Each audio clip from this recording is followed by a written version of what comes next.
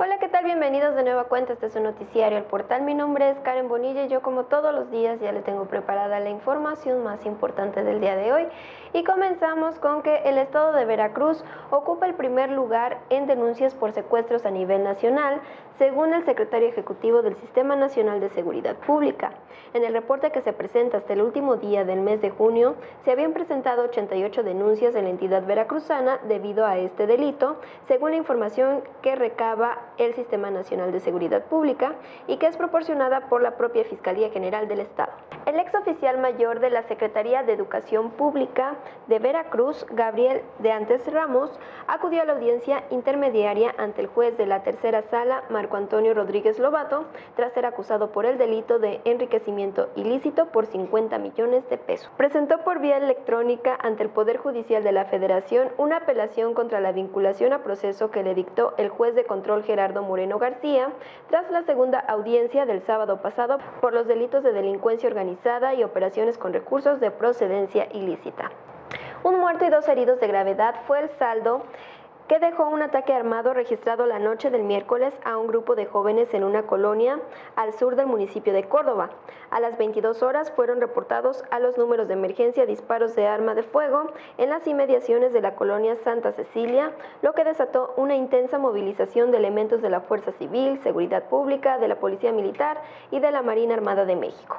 Reina Torres, cónsul de México en Texas, señaló que entre las víctimas mortales del caso de inmigrantes abandonados en una caja o de un tráiler en San Antonio, Texas, se encuentra un veracruzano.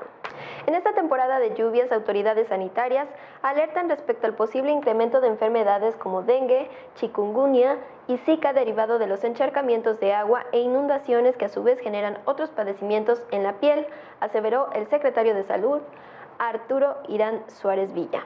El estado de Veracruz enfrenta un rezago de al menos 15 años en materia de planeación urbana debido a que solo se cuenta con unos 70 planes de ordenamiento territorial y de estos menos de 10 se encuentran actualizados.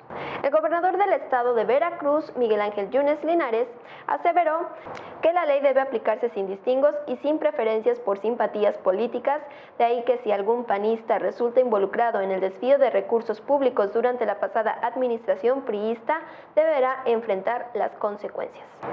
El diputado federal Alberto Silva Ramos el más cercano de los colaboradores de Javier Duarte de Ochoa en su gobierno, acudió por segunda ocasión a la Fiscalía General del Estado en el marco del proceso jurídico en su contra por el presunto desvío de recursos públicos cuando estuvo al frente de la Coordinación General de Comunicación Social, puesto que desempeñó en dos ocasiones. La alcaldesa de Gilotepec, María de Lourdes Lara López, asegura que el ayuntamiento apoya el gran talento que existe en ese municipio a través del incentivo de la escritura. El día de mañana se llevará a cabo la presentación de los libros Niebla entre las palabras, escrito por los servidores públicos del ayuntamiento de Gilotepec y Un Cerro de Historia. La presentación de dichos libros será en el Palacio Legislativo a las 4.30 de la tarde y contará con la participación del director del museo de Pedro Infante.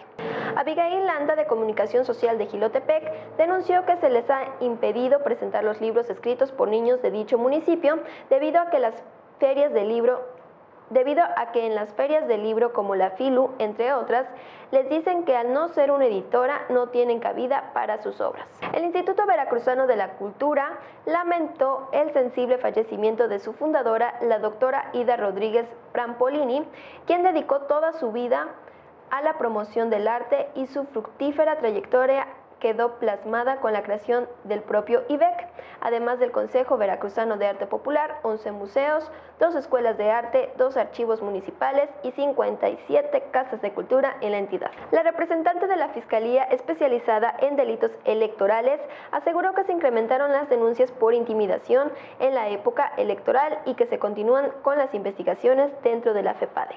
Anuncian la quinta carrera de la Fundación a las rotas de Jalapa con un costo de 100 pesos, la cual servirá para apoyar a aquellas familias necesitadas. Los participantes que resulten ganadores serán premiados con electrodomésticos. Y ahora sí hemos llegado al final de este noticiario y antes de irme los invito a que nos sigan a través de nuestra página elportal.mx y el portal de Renatita y Fatilú. También puedes seguirnos a través de nuestras redes sociales, estamos en Facebook y también estamos en Twitter. Mi nombre es Karen Bonilla, yo los espero mañana con más información aquí en el portal.